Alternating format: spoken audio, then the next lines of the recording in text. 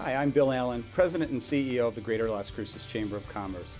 Each month we recognize three of our members as large, small, and nonprofit businesses of the month.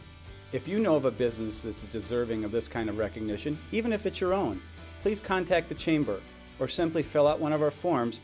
They're at each of our events that we have on a monthly basis. Now please enjoy one of this month's Chamber member spotlights.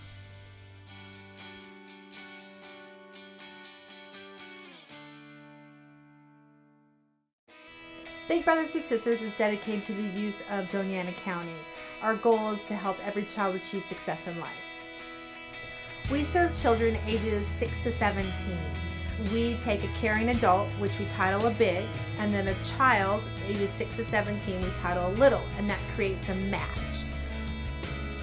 The most rewarding thing about working for Big Brothers Big Sisters is the impact that we truly have on the community and the children that we serve.